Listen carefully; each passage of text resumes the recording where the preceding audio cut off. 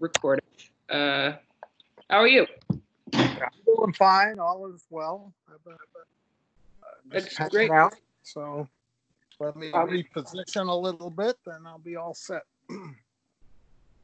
Uh, how you doing? You guys doing all right over there? Yeah, we're doing all right. Um, you know, Fourth of July. Yeah. Did you do anything for the Fourth of July? Uh, we just um, we just made some food and Yeah. Yeah. Yeah, we didn't do anything, so Yeah. you know, whatever. So yeah, listen to music. And unfortunately, uh, you can't really do barbecues or anything right now. yeah. Yeah, Although your grandmother keeps talking about meeting in the backyard and stuff, so yeah. I, I, we need to sort of. I need to explain to her that she's got to wear the mask and yeah, exactly. very important. Um, so uh, before we start, I just want to make sure that you're uh, that if there's any topics you don't feel comfortable discussing. Um, no, I feel comfortable discussing anything. I, I think I don't. We'll see. If I don't, I'll tell you at the specific topic. okay, good to know. Um, so uh, the first question actually doesn't really have to do with the Vietnam War, but um, I figured now was a really good opportunity to ask you because you're a doctor of economics. Yeah. Yeah. So, um, across the country, small businesses are suffering from the impact of COVID 19, um, but it seems like a lot of large corporations are still flourishing. Um, what do you see a potential solution to this, or do you think this is a sort of apocalyptic end to small businesses? I think small businesses are going to have a very difficult time of it. Uh, you know, getting through this uh, this pandemic, uh, and that's not necessarily the situation. It's a situation due to the policies of the, you know, the capitalist system and of government that you know are they're they're feeding some small amounts of money to the small businesses, but it's a restricted number, and uh, just a lot of them aren't going to get that aid and aren't going to get enough to uh, continue on. And uh, you know what we have is we have a combined supply and demand crisis, which is pretty unique, uh, at least since the Great Depression. And uh, you know it's uh, it is not going to bounce back very quickly, and I think a lot of small businesses are going to fold. The big businesses are able to respond, and uh, but many of them have gone under too. Uh, J.C. Penney, Neiman Marcus, a couple of others have uh, maybe not Neiman Marcus, the other one, uh, whatever, one of them. You know, some of these big businesses are folding as well. Uh, so it's you know it's a very difficult time, and uh, no, I don't I don't see. Uh, you know, I, I don't see a direct solution that's going to be politically viable in this environment. Well, part of, uh, to me, what seems like the most egregious part almost is that some of the biggest businesses, especially in New York City, uh, like um, Shake Shack, I, they're here too, but uh, they're all over the country, um, all ended up getting money from the government. And Yeah. it was obviously a limited amount of money the government could give out. Um, anyway, so um, Yeah, that, I was counting really small businesses, not like Shake Shack, and but they're yeah they're giving money to the to the big companies, you know, and that's uh, you know that's what's happening. It's extremely unfortunate. Um, anyway, um, so you're extremely politically active. Um, Yep. so, do you think the countercultural movement spurred by the Vietnam War has had a progressive impact on American politics, or do you think it has had any impact? Or What kind of what are you referring to? The- I'm referring what to- kind of the um, the hippie movement, the civil rights movement, the uh, feminist movement, all of which sort of happened around that time. Okay, they um, the hippie movement, no. Uh, I think that sort of died out and uh, you know sort of came, became you know not unimportant. The civil rights movement was you know the the two the twin aspects of what was going on in the Vietnam era was the civil rights movement in Vietnam. The civil rights movement far precedes uh, the Vietnam War, and uh, you know, and it was when Martin Luther King, particularly, not only but particularly, tied the civil rights, the struggle for civil rights, to the Vietnam War, that it became, uh, you know, it really merged and became a huge uh, uh, a huge thing. The civil rights movement obviously uh, did, uh, you know, make important advances for all uh, African Americans and other minorities, you know, that, you know, at, at, the time. I believe, and the women's movement also, you know, in that period took off as well. And that both of those are important movements that need to be fulfilled uh, need to continue to be fulfilled. Uh, you know, it's been uh, a rocky 50 years since then, and I won't, you know, I don't think there's any direct continuity of progressive kinds of things. There's a lot of people in struggle, and uh, you know, and people that recognize what needs to be done, and that's based in large part on what's already been accomplished in both the women's movement, the gay movement, the um, uh, the civil rights movement, etc., from that period. I think that's very important. My thing, my thing about Vietnam, the, the real thing about Vietnam is that for me, it was the beginning of people really questioning and distrusting the government. You know, it came out, it was so clear that the government was lying, and it came out with the Pentagon Papers and, and other things. That that to me was the beginning of uh, people not believing the government and starting to question. That too has gone back and forth, but it's developed over the last 50 years to where today, uh, you know, I'd say the majority of, uh, of people in the country do not believe what the government says on many, on most occasions. Well, or at least they're skeptical. Do you think that has to do with the fact that um, at that time, uh, television and uh, media was in people's home to a degree that it wasn't beforehand. So uh, yeah, absolutely, and and not only that TV was there, but that uh, they actually were showing the Vietnam War, uh, you know, firsthand on TV, and it was relatively uncensored, right? One of the one of the key things that's happened since then uh, is this whole idea of embodying uh, yeah, embodying the press within the units, but they are they are controlling the press, uh, you know, and not uh, not showing uh, the kinds of things that happened in Vietnam. That was a direct response to the Vietnam War, and to make sure that that didn't happen, because that obviously polarized the entire society, uh, you know, at the time, and led in large part to this not believing. People would watch TV and see what was really going on, and then the government would say something else, you know, and and that caused uh, a lot of uh, questioning. Well, there was um, there were also a, a, lot of films made during and after the Vietnam War about it, and yeah. I mean, I can say for myself, those definitely have had an impact on my perception, like movies like Apocalypse Now. Um, do you think those films do an accurate job of uh, portraying what happened, or do you think those are more fantasy movies that should be seen as uh, movies and not actual um, an actual documentation of what happened.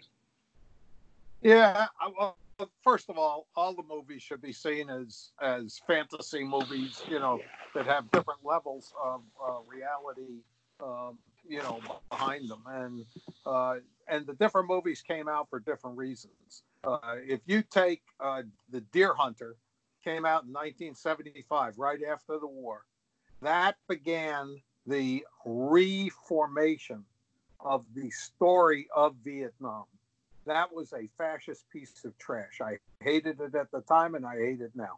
And it was, but it began this story of, uh, well, uh, the the soldiers were held back, and we could have won uh, if they hadn't put the shackles on the commanders, and the commanders were all dumb, and uh, the generals didn't know what they were doing, and that's why we didn't win the war. That kind of approach Uh, instead of this was a revolutionary war where people were fighting to free their country from a foreign invader, and there was no way they were going to stop until the U.S. got out of there. That's the real story of Vietnam. No movie has really said that. None of them. Now, in terms of portrayal of what's going on on the ground, different aspects of different movies are very realistic. Um, Platoon, uh, in many cases, in most of Platoon reflects what I went through. Uh, Apocalypse Now, the part that people think isn't realistic is, and the part that they think is, isn't. The most realistic thing in Apocalypse Now for me, and I've watched it many times, is the combat assault uh, where the only thing that's really uh, the only things that are unrealistic are the playing of the uh, the the Valkyrie, the thing of you know the music, yeah, and the, the surfers. Valkyries. Yeah, but the combat assault, how they actually conducted it, the helicopters coming in and everything else, were very realistic. And in fact, used my battalion call signs, and it was my unit that was shown going in there, and that Really? was the actual visual was uh, pretty realistic. Um, Platoon reflects a lot of what I went through, and a Full Metal Jacket. The Marines like Full Metal Jacket. Uh, it reflects more of the Marine experience. I can't speak to it, but that's you know they like that and and feel that that's a more realistic uh, view. Um, the most realistic view of uh, the most thing that really put forth to me what it's like to be in combat is Saving Private Ryan, which is uh, set in World War II. But the first 20 minutes of that on on the uh, on Omaha Beach or whatever, and you know, in the D-Day, uh, shows the intensity of combat and what it was like, and began to portray the feelings you had, uh, you know, when you're actually under fire. So different movies have different points and make you know and things like that. All of them are uh, all of them have some reason for being made, which may not be obvious, and all of them are are uh, films. They're fantasies on you know in that regard on some level. Well, all of them are, are sort of um, a look at a real event through like a, a pop cultural lens. At the same time, um, there was a a lot of music. Um, there, there was a, a big. Um, there were um, there was a shift in music in America. A lot of protest music. Um, Absolutely. uh, so, do you think? Obviously, uh, the Vietnam War contributed to this music, uh, rock and roll music, to you know, to the blues in the 1960s. Do you, do you what, what aspects of of um, of this music do you think, uh, or, or what aspects of this music do you think was impacted by the Vietnam War, and to what degree do you think it was uh, impacted?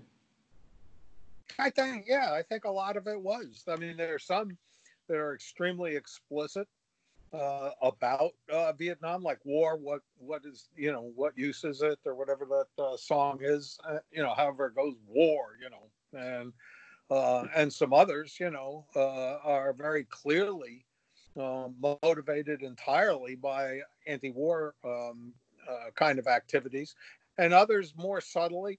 Um, we also have uh, a lot of uh, music that was affected by the civil rights movement at the time, and uh, you know a lot of activity of uh, of entertainers and stuff, both in civil rights and anti-war movement. I think that was uh, very important, and I think you know the cultural aspect of any struggle becomes very important. Right? Uh, again, less Vietnam and more civil rights movement, you know, there's a lot of critique of how uh, African American music was taken over and stolen by whites, and uh, you know, and and uh, sold on that basis, and a lot of money was made. But the carryover of African American music to become national music was, I think, uh, a, major aspect of importance in winning people over to the civil rights movement and moving it along. Same with the Vietnam War. I think you know there were aspects of it uh, that were um, anti-war and and motivated the movement and uh, you know and played a very important role in that. Uh, and you know it's still there's still an awful lot of 60s music that gets played around it's played sure, today yeah. you know still yeah. popular. The who the beatles everybody knows the beatles. Yeah right exactly. Um so uh so the, the, this cultural shift was happening in america uh, while you were overseas. What aspects of the sort of cultural shift were you experiencing in vietnam?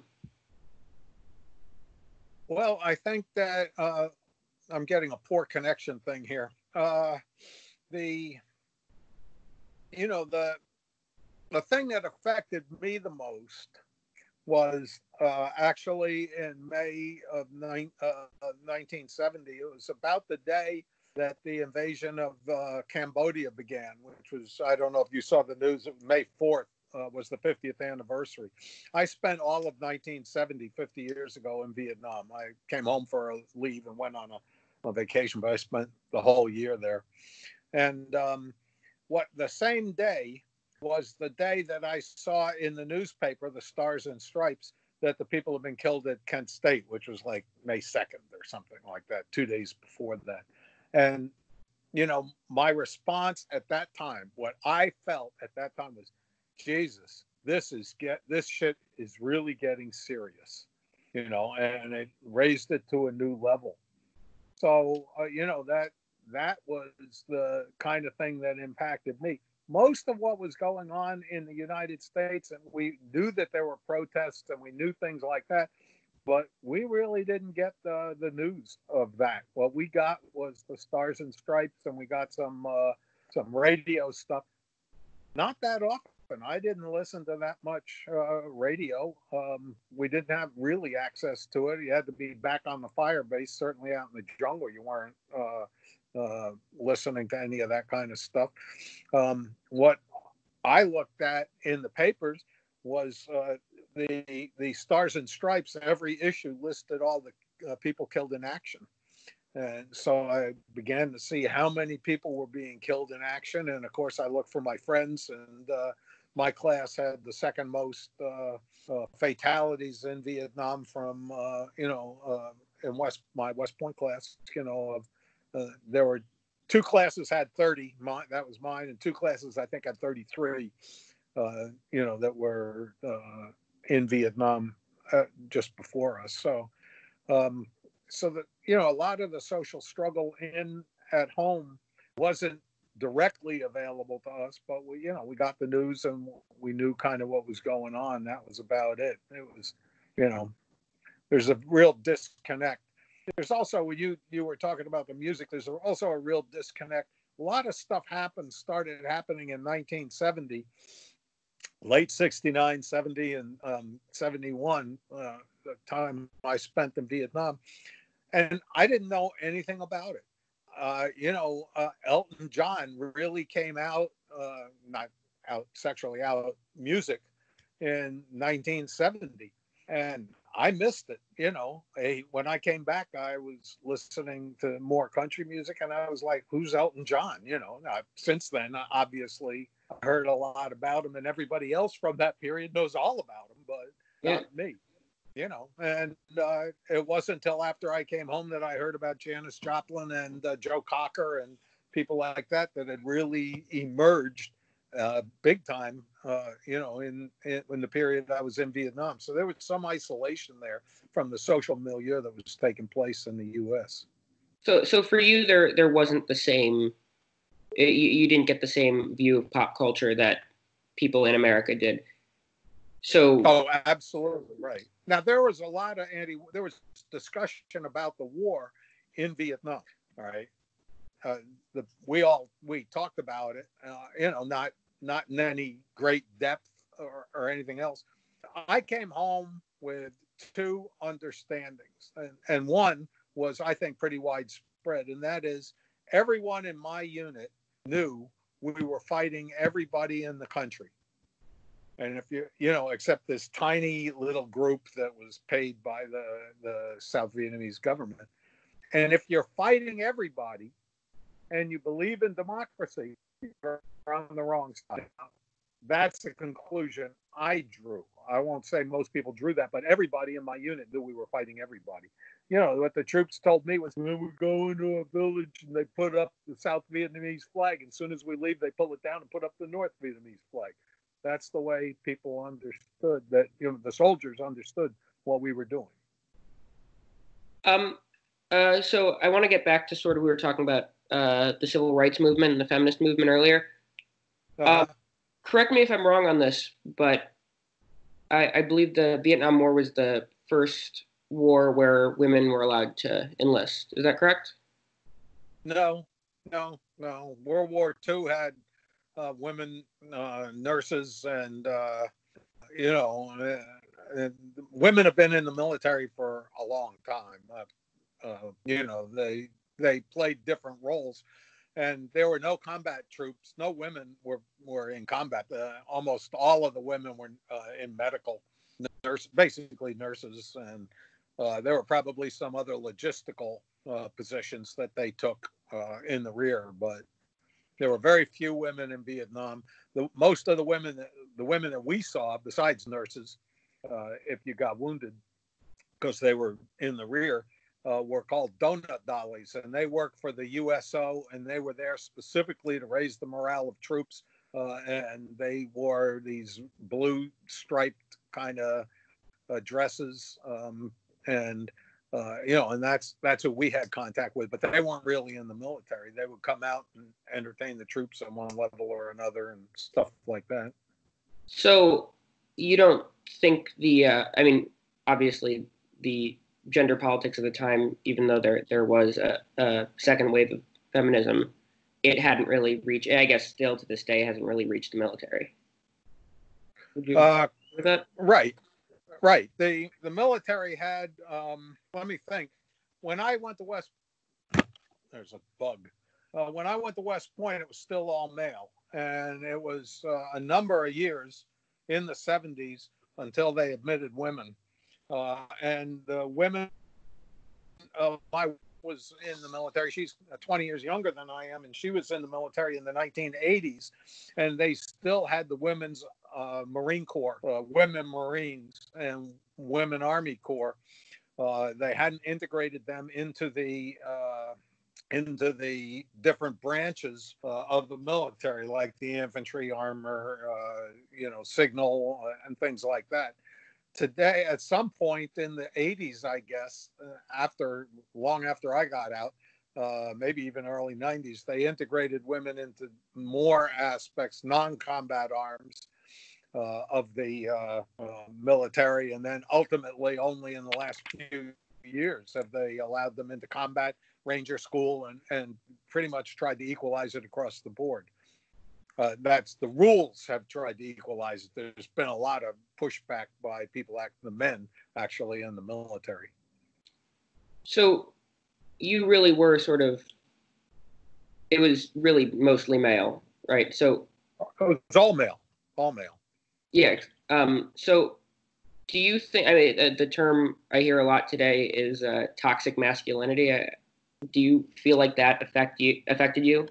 Um, that sort of notion of, of um, hypermasculinity affected you in uh, no you don't think so i would i wouldn't say that because first of all there were always people that did that that act men that acted like that uh, you know and uh, you know i'm i'm not going to deny that but most people most people there were a scared b uh, um, draftees, uh, and C wanted to get through without getting hurt, you know, and were very dependent on everybody else to make sure that that happened. And not everybody made it, but uh, you know that that wasn't a hyper masculine um, kind of situation. We did what we had to do. We were in combat, and people fought, uh, but not.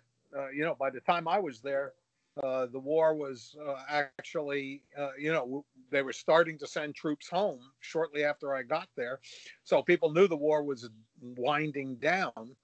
uh, by 69, uh, you know, um, Nixon was the president and he had run on the thing of ending the war, which he didn't do for four years, but you know, we didn't know he was continually putting things up and he had started bringing troops home. So I didn't feel that there was, it was obviously a very masculine uh, culture, but it wasn't the hyper masculinity that you're talking about. Yeah, there were some people like that there. Ah, let's go, ah, ah, but and super military and super uh, anti-communist and, and you know and that kind of stuff. But that wasn't the dominant thing for me in any that I experienced in any way, shape, or form. Well, so, um, everybody, everybody thought they were crazy anyway. Every most of us thought they were nuts. Right. So, so that that's actually really interesting. So the the the sort of perception of masculinity was a little less extreme than I guess it's often portrayed, and a little more positive than it's usually portrayed. Yeah, a little more real. I it, the idea that, uh, and, you know, and again, I haven't been in Iraq and Afghanistan or even in the Gulf War, you know, in, in the 90s, you know, but this idea that we're, that everybody is really into it and all that, that's part of the hype. Right. Right. And, you know, that people come back from the troops I've talked to that come back from Iraq and Afghanistan are like, what the are we doing there? You know, uh, you know, we shouldn't be there.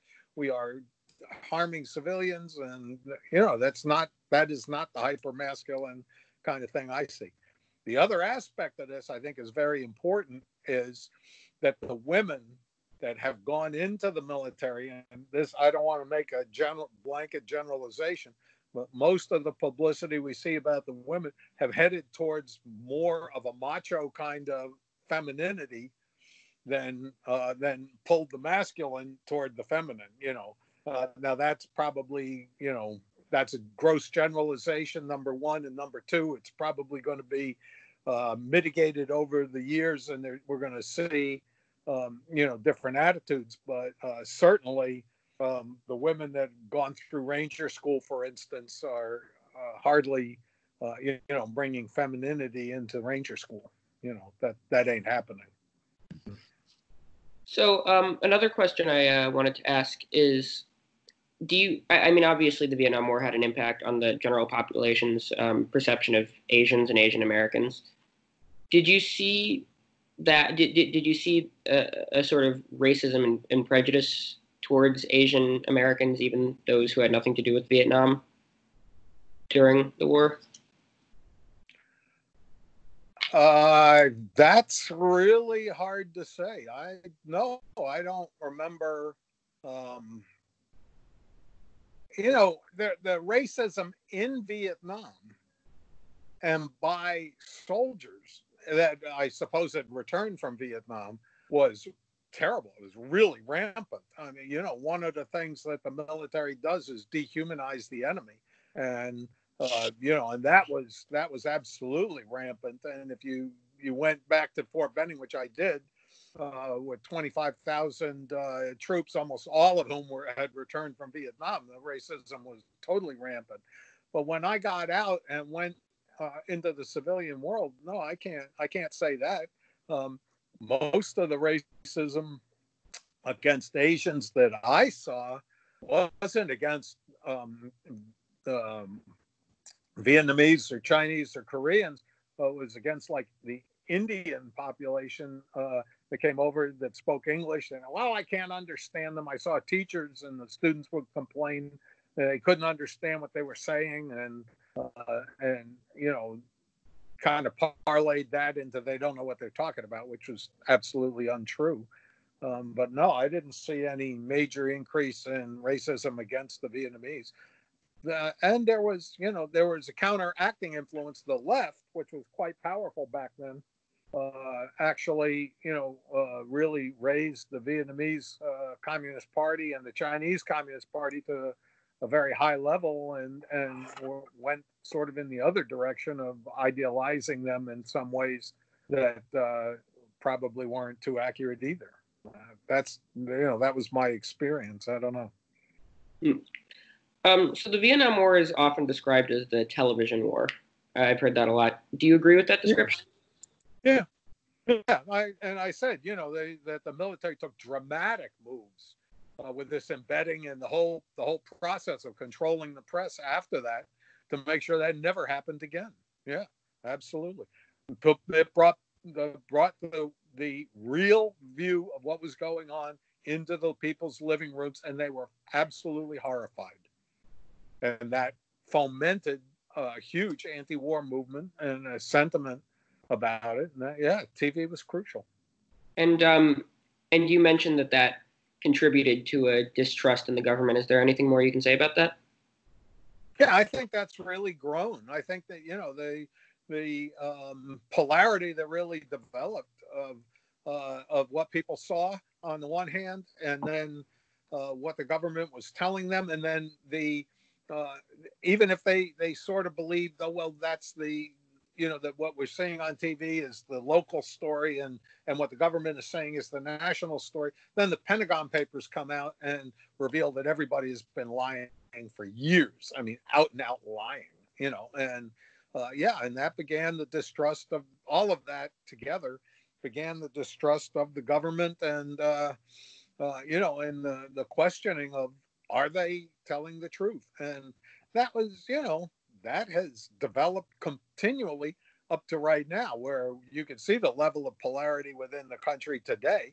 Uh, you know and you know uh, one of the things i mean i think uh, to take uh, example of trump has gotten out of hand completely but you know toward the beginning uh, that everybody was talking about Trump is lying. And my position was every American president since Kennedy, we have proof that they're all lying, right? I mean, they right. lie all the time, you know. And and today, I think more and more people are seeing that, and fewer and few people, fewer and fewer people are um, are taking everything that the government says at face value and recognizing it all as a political spin, if even if it's sort of the truth that it has a political spin and stuff like that and there's a lot less trust.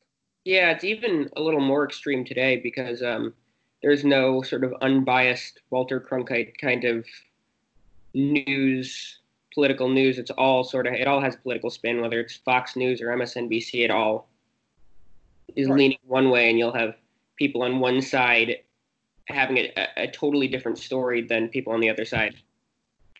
Yeah, and of course, what we also recognize today is that Walter Cronkite had his biases, but it was much more in tune with the uh, general population than a lot of the politicians were. You know, he worked for the CIA and did some other things. You know, so uh, he had his bias too, but it was less obvious today then than it is today. I agree with you. He was really mainstream. I watched him all the time. Mm. Um, so my last question is um, what misconceptions about the Vietnam War do you think need to be cleared up um, in the public's perception now, almost 40, 50 years later? Uh, that it was a revolutionary war, that, uh, you know, to establish socialism throughout and unify the country, and that the United States was an invader and seen as a foreign invader, you know, into their civil war uh, to to defeat it. Uh, I don't think that's generally recognized in those stark terms, uh, but I certainly think that's what people need to understand, and it's certainly the view of the Vietnamese. Mm. Well, thank you. That was um, I got a lot of good stuff there. I'm I'm going to stop recording now, but uh,